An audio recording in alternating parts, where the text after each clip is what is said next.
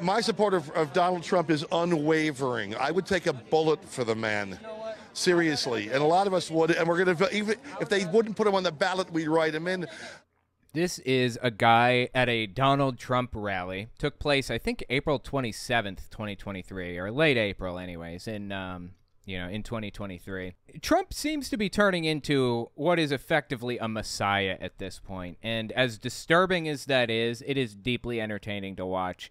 I wanted to listen to a few people's reactions or interviews that they gave about Donald Trump at one of his rallies. Keep listening to this, dude. He had more to say. Oh, and uh, one more quick note.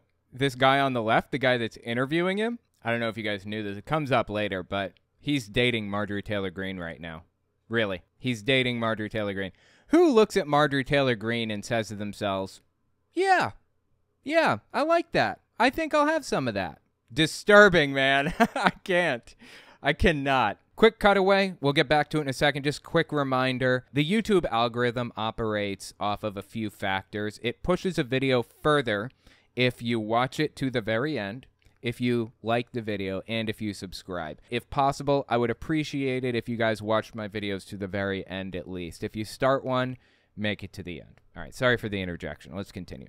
Anyway, listen to this poor fool interview this guy on the right. I think it's very important to, su- to support Donald Trump. Uh, uh, if not, our nation goes down. I believe he was sent by God to preserve Abraham Lincoln's promise that a, a, government of the people and by the people and for the people will not perish. But I think it's rather ironic because I remember, probably nobody else knows this, this armory in 1976. I was here when I was in high school.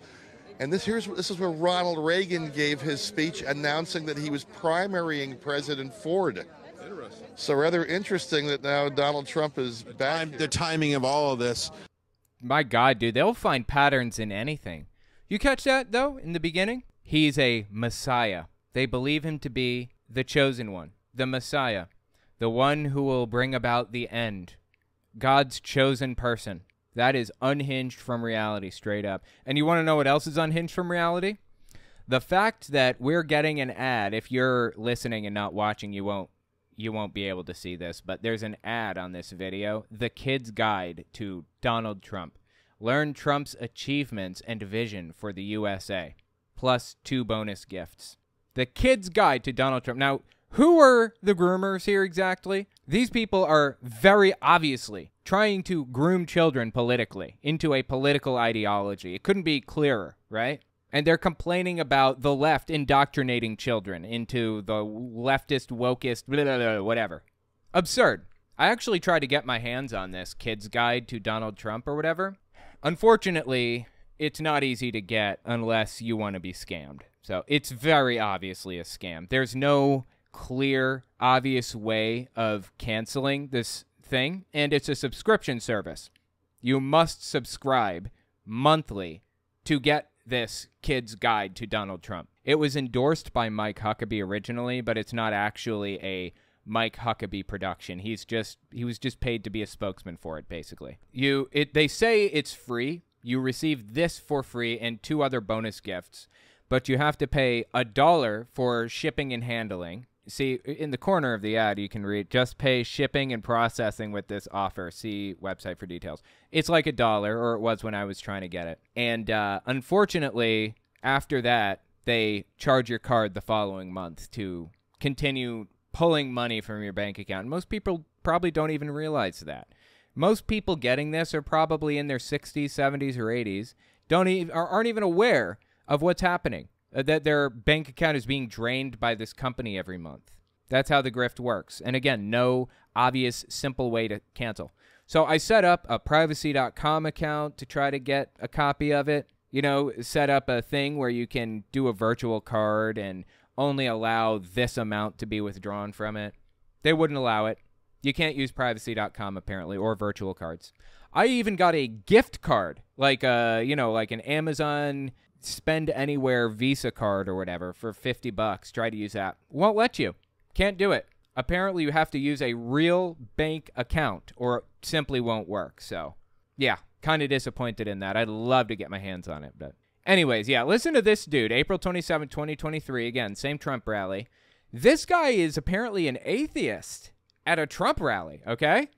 If I'm open and honest, I'm an atheist, but uh, I align more closely with a Christian conservative worldview, and so. How? How do how does this happen? I don't understand. I am so lost. Dude is an atheist but aligns with a Christian conservative worldview. What? Conservative worldview, and so uh, I pretty much support Christian conservatism, that whole that whole moral compass, and so that's what I stand for. Well, here's the thing: the Bible doesn't provide a moral compass. The Bible espouses a different position on every single moral issue. Come up with any moral issue, and you can find a Bible verse to defend that position. Seriously, you are in favor of gay marriage? Do not judge, or you too will be judged. For in the same way you judge others, you will be judged, and with the same measure you use, it will be measured to you. Why do you look at a speck of sawdust in your brother's eye and pay no attention to the plank in your own eye? And what did Jesus say about being gay? let's just look to Jesus, right? Look to his advice to figure out how people should feel about the LGBT community. Oh, he didn't say a thing about it. Interesting, right? There are plenty of verses to back up the idea that being gay is not wrong, or you should, at the very least, let people live their own lives and have their own relationship with God, at the very least. And then there are verses, eh, like, say, the Old Testament, that talk about it being an abomination before God and all this other stuff. What about marriage? Is it one man, one woman? Or is it one man, multiple women? There is a different position espoused for every moral issue in the Bible. So he's not getting his morals from the Bible. He's getting it from nutcases who believe they know what the Bible has to say about morality, even though they're apparently completely ignoring entire swaths of it. Look at some of these other people at this rally. Check out this couple. I think one's from Florida, one's from Tennessee, I think. Listen to this. Born to Ride for 45 is here. We came I came from Florida. 60th Trump event. We love Trump a lot. Wow, 60th Trump event, dude.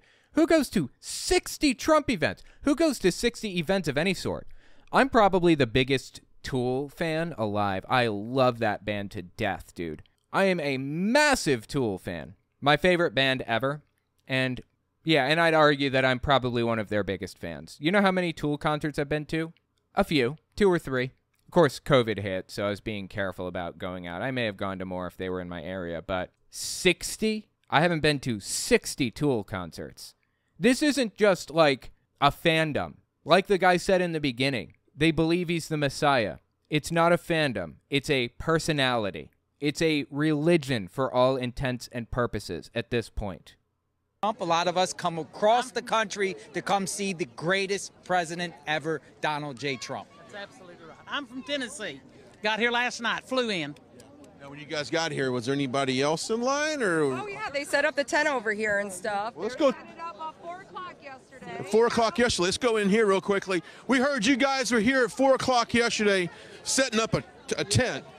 Where are you from? Where are you from, my man? I'm from New York City, the Bronx. The Bronx. Came all the way down here for President Trump. Of course. Wow, dude. This guy's from the Bronx. He's wearing a Star Spangled Banner like sweater, apparently. This is crazy. He's got a MAGA hat on. He's got a huge ZZ Top beard if you're listening and not watching. This is nuts, dude. And uh, the Bronx, interesting. There are a lot of parts of New York City that aren't even really New York City. Like Staten Island isn't really, I mean, it's part of New York City, technically.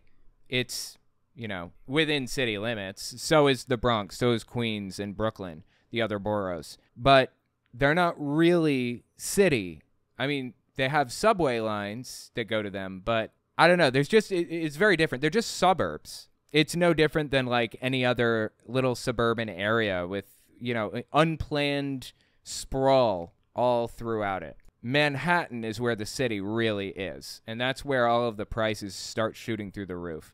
I mean, there are a lot of really expensive places and really beautiful places in Brooklyn and Queens and the Bronx and Staten Island also, and out uh, further on Long Island. But, you know, Manhattan is really where New York City is. That's really New York City. That's what people in the area call the city. he says he's from the Bronx. I'd be willing to bet he's probably from the northern part, just barely in the area. Homes are normal prices in the northern part of the Bronx. They're not absolutely absurdly priced. You can just buy a house in the Bronx and it's really not that bad, so. City of the Bronx. The Bronx came all the way down here for President Trump. Of course. Nice shot of this hat. I thought it was President Trump's signature. May Okay, now remember as we watch this, this guy, that the, the reporter guy or whatever you call him, is dating Marjorie Taylor Greene, okay? shot of his hat. I thought it was President Trump's signature. May I just for a second? Sure. The great MTG signed his hat there. You gotta love that. Taylor Greene. I hope she's vice president. He says, I love Marjorie Taylor Greene. Taylor Greene. I hope she's vice president one day. I, I really do. I love her. That makes two of us. All right. Oh, God, dude, is this the first time this guy said he loved her? That's fascinating, right? Wow, their relationship. How can you, honestly, I personally thought that Marjorie Taylor Greene had a personality that only a mother could love. Apparently, a mother and this poor fool also. Surprising. Absolutely blows me away. How did this happen? I don't understand. Crazy. I love her. That makes two of us. All right. Oh, that's crazy. Okay, so let's keep uh let's keep listening here. Uh this one is an interview with I don't know, some guy who claims to be Mr. America or something like that. He's got a MAGA hat on with a flag on the side. He's got the red, white, and blue outfit with the stars and everything. He's all decked out here, okay? so, what's your plans? You're the you're, you're the youngest one right now in Connecticut. Uh, where do you see yourself in ten years from now? Oh, he's from Connecticut. Interesting. That that's really not that far from New York City. It's a very short train ride, like a 20-minute train ride from uh, New York City to Years Connecticut. from now. Well, I got inspired by a man you know quite well. His name's Donald Trump. Um, and my goal someday is to get higher up in politics. I don't really know where that's going to lead me, but I keep the same principles that he has. Never give up, never give in, never back down. And as a young conservative, I take it. Does Donald Trump stand for the principles of never give up, never back down, never give in? Okay. I thought the saying was never give up, never surrender or something like that. It- but I guess that one's from like Bear Grylls, isn't it? okay. never give up, never give in, never back down. And as a young conservative, I've taken a lot of heat, especially in school. I've been called all the labels racist, sexist. Huh, I wonder why that is. Why do you think people call you racist and sexist? Do you think maybe it's because you're racist and sexist or because you act that way? Really, is it not penetrating his thick skull that like his actions have consequences that maybe he's being called these things and ostracized for a reason? No, apparently it's just not getting through to him. sexist. I've been yelled at by teachers because I stood for the Pledge of Allegiance when no one else would.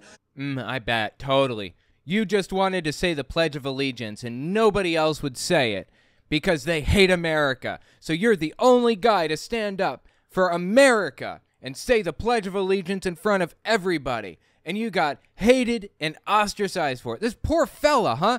So persecuted. He is so persecuted. Poor, innocent Americans who just so happen to be racist and sexist and bigoted and hateful, you know. But they're just trying to love America. They're trying to pleasure America the way a young boy should, okay?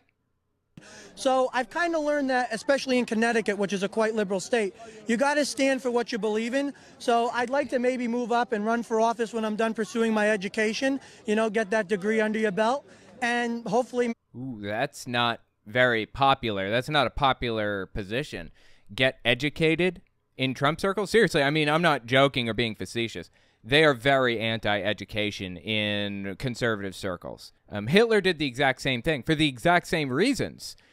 A, more educated population is more likely to lean left, to vote against fascist ideals. And uh, naturally, fascism has to fight education as a result. You think I'm joking or, or being facetious? I'm not. Let me prove it. This is a film from the 1940s, immediately after World War II ended, called Don't Be a Sucker. And it was produced in an effort to draw attention to how Hitler did what he did. How did he manage to get people to a position where they would be willing to do the horrific stuff that the that the Nazis did in World War II. It's a fascinating movie, and I break it all down on my main channel if you guys want to like see a full breakdown of the entire thing beginning to end. The title of the video is Everybody Should See This. The thumbnail says, Holy frick, this 1942 Nazi film is bonkers, basically. If you want to see the video, the whole thing beginning to end, it's on my main channel. Just search under that. But listen to the description given about the Nazi Party in the 1940s, immediately after World War II ended. These men had won their struggle for power. They now ruled all of Germany. But still they had trouble with their oldest and most persistent enemy, the truth. They found that truth does not die easily, and so they decided to abolish truth. One great source of truth is literature, so they burned books, 20 million of them. Many great men in Germany who were spokesmen for truth were jailed or driven from their country. Teachers, writers, scientists. Education was discouraged. In five years, college attendance dropped 53%. I mean, I God, I could watch this whole movie. I love this movie to death, but this film is again 22, 23 minutes long. It's so good, but yeah, just check it out on my main channel. The point is that education is heavily discouraged within right-wing circles. Always has been. You know, Hitler was a right-wing extremist. He had right wing ideologies. He came in under the auspices of a left wing ideology and eventually took a hard right turn. Abolished socialist movements, abolished trade unions, anybody that he thought might be a challenge to his power, he snuffed them out. Up to and including educational institutions, institutions of higher learning. Matter of fact, since we're talking about it, wow, I forgot I even had this clip, but Tucker Carlson was talking, you know, a disgraced Fox host, ex Fox host, if you will. He was talking to this kid, Daniel Schmidt. He's talking to him about higher education. This is from late July 2022. Listen to this. Advice to young people, particularly young men, is just dive face first into it. Like drop out of college. College is ridiculous unless you're moving towards some very specialized degree that you can only get in college if you want to be a veterinarian or a physicist or something. But if you're in humanities, you know, I can give you a list of 100 books. You can find it on the internet and you'll be better educated than you would be at whatever stupid college you go to. A. B. Get married. So he goes on. Yeah, the point is they've always discouraged college education. The the right wing in the US discourages college education and so did Hitler. So I'm honestly surprised to hear this kid talking about college education. Office when I'm done pursuing my education, you know, get that degree under your belt he's definitely breaking some rules in the uh, in the ideology. And hopefully, maybe one day run for a national office. That's, That's what you got to do. I love it. Well, let's just give a good shout out on his outfit here. I love the, uh, red pants. I just got the new pin, right? Yeah, yeah. And you got this good tie here. Yeah. Gotta love the tribe, Trump. You gotta Make. dress right when you're gonna see Mr. America, right? You, you have to draw, dress. Dude, who declared Donald Trump Mr. America. That is absurd on so many levels. I don't know where to start. Wow. Okay. There were some advertisements happening at this uh, event, at this Trump rally, too, fascinatingly. Listen to one of the advertisements that went on at this event. Spike protein is the toxic substance that attaches to your cells to allow mRNA to enter. Worse, both COVID and the vaccine function by using spike proteins to attach to your cells. Many Oh my god, dude. They're propagandizing even in the advertisements. Spike protein is not What was How did she describe it again? Hang on. Spike protein is the toxic substance that attaches to your cells to allow mRNA to enter. What? Okay, no. The spike protein is something that the uh, the coronavirus has. It's one of the proteins of the coronavirus has, right? I mean, been a while since I've read about this, but I believe it's the protein that the coronavirus has that it uses to enter into cell walls. Is that right? And the mRNA vaccine basically reproduces that spike protein, which in itself is harmless, actually. But once your body sees that this foreign thing, this spike protein, is entering into the cell walls, it starts producing antibodies against it and trying to destroy this spike protein. And when the coronavirus shows up using the spike protein to enter cell walls, you've already got antibodies there ready to go to fight it. That's basically what that is. But even in the ads, they're propagandized. This is crazy. God, look at this. Counteract harmful spike protein. You gotta be kidding me, dude. You know what this ad is for? It's for some, what is this? Like some kind of like snake oil or something. Get back to that pre COVID feeling. You can buy these pills that will counteract harmful spike proteins. Really. This is a joke, dude. This is just disgusting. This is brazenly taking advantage of people's ignorance on this subject. Okay, look, now that we have that little background on spike proteins, keep listening here. Spike protein is the toxic substance that attaches to your cells to False. It's not toxic. allow mRNA to enter.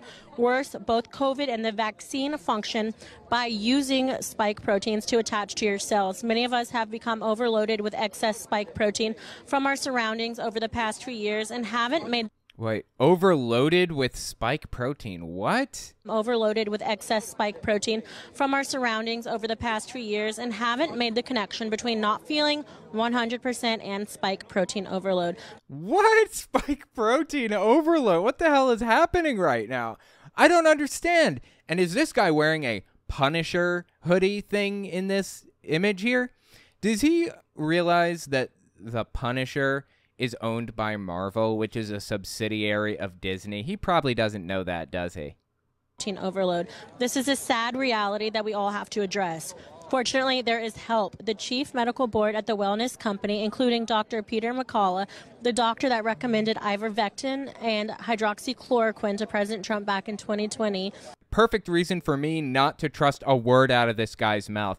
He's the one that suggested ivermectin and hydroxychloroquine to Trump. This guy? Seriously, this guy should be on a list of most harmful people on planet Earth. The guy that wanted to add lead to gasoline and paint, and this guy. They should be right at the top of the list uh, for most harmful living organisms on planet Earth. So I guess the guy, Peter McCullough or something like that, is selling this snake oil. He suggested ivermectin and hydroxychloroquine to Trump, apparently, allegedly, and is now selling snake oil to people, selling some pills to counteract the spike protein. This is so sad, man. This is so deeply sad. It's like that time I I tend to go through like Trump extremist like message boards and you know, Telegram channels and QAnon spaces just to see what's going on, right? Kind of keep up with this garbage. Well, this reminds me, this scam, the you know, selling these pills to get rid of the spike protein or whatever other garbage reminds me of this Trump bucks scam, aka Trump checks. They're golden checks that people allege are being sent out to or being given to his supporters. So here's how the scam works. The claim is that Donald Trump is selling gold checks or gold tickets or or Trump bucks. Take your pick. It varies from day to day.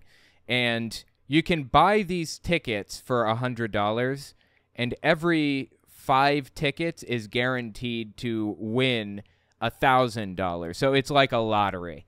And if you buy five tickets, you're guaranteed to get a thousand dollars. So if you drop five hundred dollars on these golden tickets or these Trump checks or whatever, Trump bucks, then it will pay out to you a thousand. You're doubling your money. That's the idea here. So people will take their kids' college fund of sixty thousand dollars and buy, you know, uh, thousands of Trump checks ch- or Trump bucks or whatever, expecting to get the money back. When in reality, there is no lottery. There is no payoff, and it's not even Trump doing it. They're just taking your money. Although I wouldn't put it past Trump. They even made a convincing, or at least semi convincing, advertisement that most people won't fall for, but some will.